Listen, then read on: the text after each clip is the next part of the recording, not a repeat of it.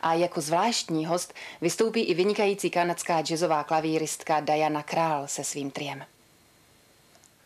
Dobrý večer, dámy a pánové. Dovolte, abych k obrazovkám pozval všechny příznivce hudby, které se zhruba od začátku tohoto století říká jazz. V průběhu několika posledních let nepřináší jaro jenom příslip lepšího počasí, ale je také obdobím účtování a vyhlašování výsledků různých anket – žebříčky zejmény idolů sestavují třeba dramatici, fotbalisté, eh, divadelníci, filmaři, obdivovatelé dívčí krásy a možná, že i kinologové nebo houbaři a další. Také jazzmeni. Ti letos našli pochopení u Českého hudebního fondu, který s veškerou svou autoritou a z laskavostí pouze jemu vlastní, jak by řekl klasik, převzal na svá bedra povinnosti vyhlašovatele ankety cenění Karla Velebného 97. O výsledcích této ankety rozhodla 28 člená porota složená z kritiků, publicistů, pořadatelů, muzikantů a jiných osobností, které jsou profesně spjaty s jazzem. V prvním kole se sečetly jejich hlasy a vytvořily se tří, respektive čtyřčlenné skupinky s nejvyšším počtem bodů a ve druhém kole pak stejná porota rozhodla o vítězích v každé ze čtyř kategorií. Jak to všechno dopadlo a kdo si odnese sošku patrona soutěže, vibrafonisty velebného Karla, O tom se dovíme za chvíli v průběhu koncertu, na kterém vystoupí trio Romana Pokorného a hosté. Já doufám, že pan kapelník nic nepodcenil, všechno zkontroloval a že za chvilku na pódium s ním přijdou. Jednak stálí členové jeho tria, to je bubeník Jiří Slavíček a kontrabasista Petr Dvorský a také hostující solisté Štěpán Markovič, Svatopluk Košvanec a dva bratislavští přátelé, trumpetista Juraj Bartoš a pianista Gabriel Jonáš, který ovšem dnes večer bude hrát na Hamondovi Varhany. Já doufám, že vstupní kontrola je v pořádku a jestli chcete, tak můžeme společně vyrazit na cenění Karla Velebného 97.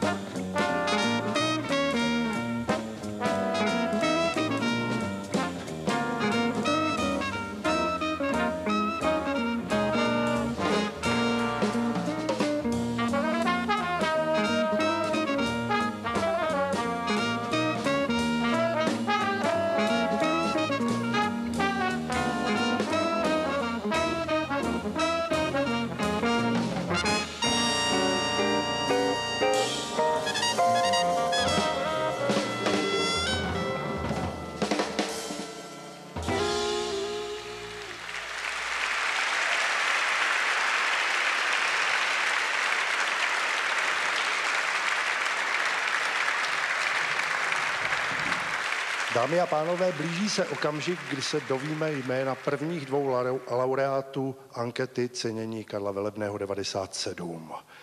Pořadatelé to měli eh, velmi dobře vymyšleno. Vymysleli to, že předávající dvojici vytvoří vždycky dvě osobnosti, které dodají celému večeru uměleckého i společenského lesku. Avšak, co se nestalo, eh, zástupce šéf-redaktorky časopisu Xantipa, která už téměř tradičně předává ceny, Michaela Gíblová se dostavila do Paláce kultury, ale s akutním zánětem spojivek, takže jí teklo z očí, takže nemohla vystoupit ani před vás, ani před kamery, protože by to vypadalo jako úplně jiný obřad. Takže musíme poděkovat, že její roli vzal na svá bedra statečně ředitel Českého hudebního fondu, tedy vyhlašovatele ankety cenění Karla Velebného. A toho na pódium doprovodí jedna z největších postav naší jazzové scény, člověk, kterému bylo dáno tolik vtipu, že při jeho hudebním i verbálním projevu jenom tiše závidíme. Dámy a pánové, přichází inženýr Miroslav Drost a Jiří Stivín.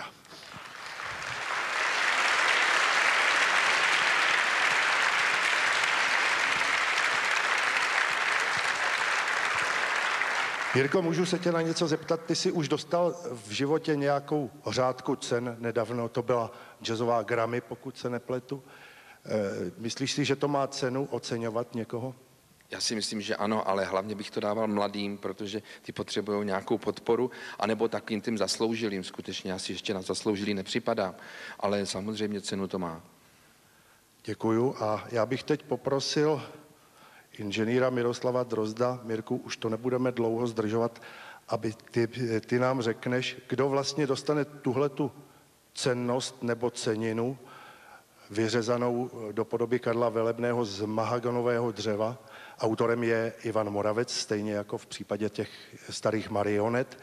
Ivan Moravec vyřezal tuhletu uh, sošku Karla Velebného u vibrafonu. Cenu za Eh, v kategorii album roku. Kdo vyhrál album roku 1997? Tak pane inženýre, cenu vyhrála, vyhrálo album You Know What I Mean, kterou nahrál Karel Ružička mladší a převezme ji? Zástupce vydavatelství Jan Hála.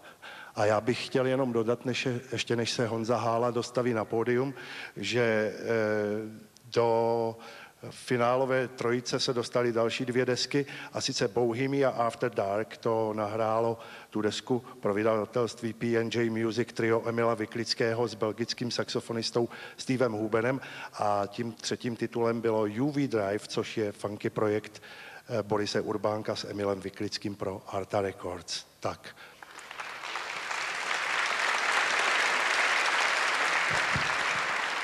Já bych tady jenom krátce chtěl poděkovat především tomu, kdo to celý spískal, a to je Kája Ružička junior. Ten by vlastně tu cenu měl dostat. Takže děkujem. Tak. Řada je na Jirkovi Stivínovi, který nám řekne, kdo se stal osobností roku 1997. No, to je právě ta chvíle, kdy si myslím, že je to přesně na pravém místě, jak jsem říkal, že takové ocenění mají dostat zasloužilí členové a ti, kteří pro to udělali nejvíc pro jazz u nás, a to je právě doktor Lubomír Doruška. Doktor Lubomír Doruška. Jeho konkurenty byli Roman Pokorný a Emil Vyklický, ale já si myslím, že když nevyhráli, nemusí trpět komplexem méněcennosti. Tak, eh, Lubom, můžu ještě eh, já bych jenom chtěl říct, že doktor Lubomír Doruška není jenom osobnost, eh, která si zaslouží dostat takovou cenu, ale on má po sobě několik potomků, kteře, kteří, kteří brzo přijdou na jeho místo a budou dostávat další ceny, takže to není jenom on sám, ale celá jeho rodina, takže tím víc děkujeme. Já velice pěkně děkuji za toto zdůvodnění a myslím si, že tahle ta kategorie byla vlastně uvedena dnes popr- letos poprvé v tomto ročníku. A ono je to velice jednoduché. Já na nic nehraju, nic nespívám, nic nepíšu, nic nediriguju, tak co vlastně už můžu dostat jiného prostě než osobnost roku. Ale já bych, jestli dovolíte, přece bych přešel ještě do trochu jiné nálady. Eh, tento večer bych totiž považoval za nutné říct, že v tom okamžiku, kdy osobnost ne roku, ale desetiletí, alespoň desetiletí, skutečná osobnost prodělává těžkou operaci, chtěl bych říct za nás za všechny na tomto pódiu i v tomto sále, že mu přejeme brzké uzdravení.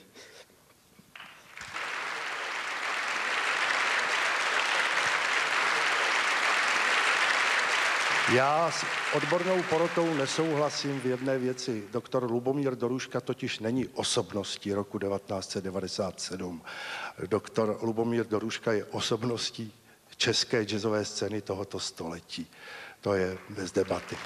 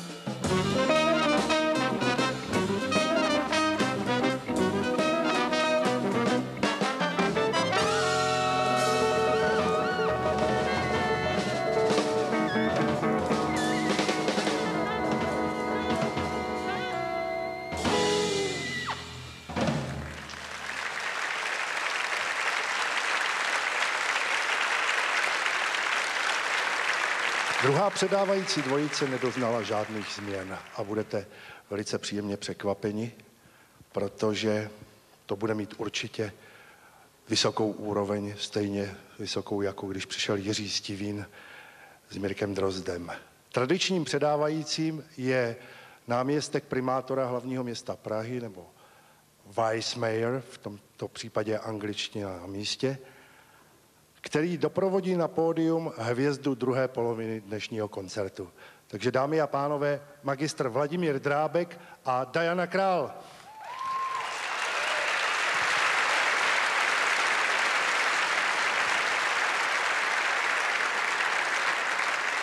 Pane náměstku, jenom malou otázku.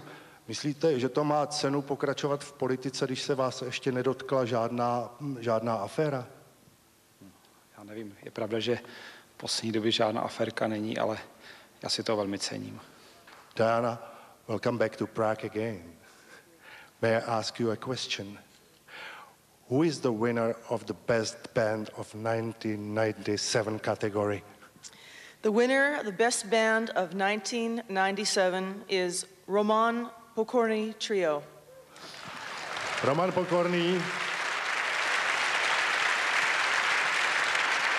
si odnese cenu za nejlepší kapelu roku 1997, včetně DPH. Jeho finálovými soky byly následující kapely. Robert Balcar Trio,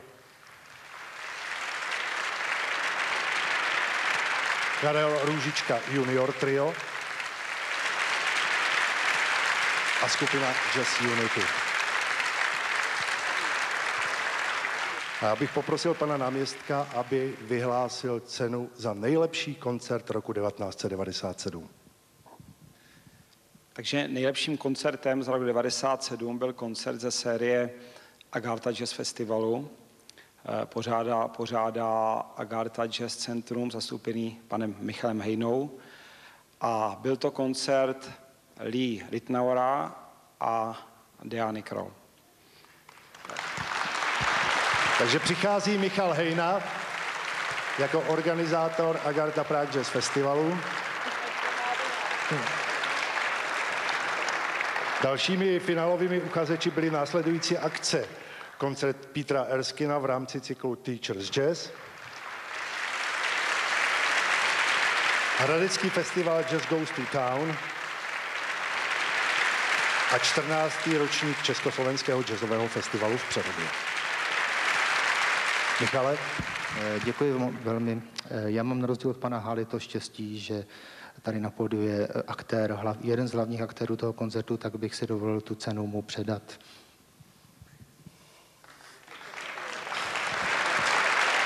Michal je gentleman a není divu. Thank you so much. Thank you. A já bych teď poprosil o hudební dárek Dianu Král a její trio.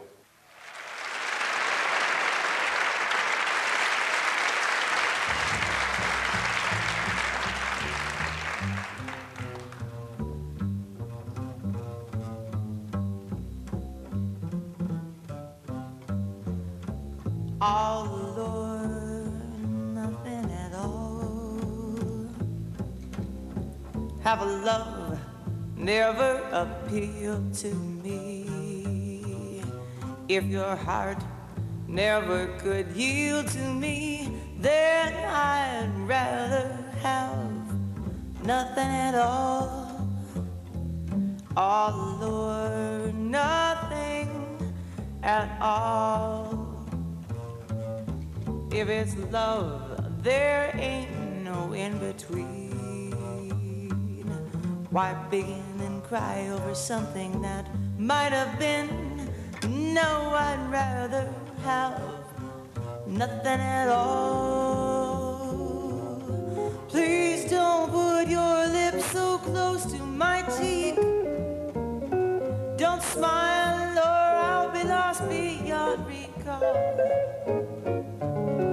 The kiss in your eyes, the touch of your hand makes me weak, and my heart may grow dizzy and fall. And if I fell under the spell of your call, I would be caught in the undertow. So you see, I've got to say no. No, nothing at all.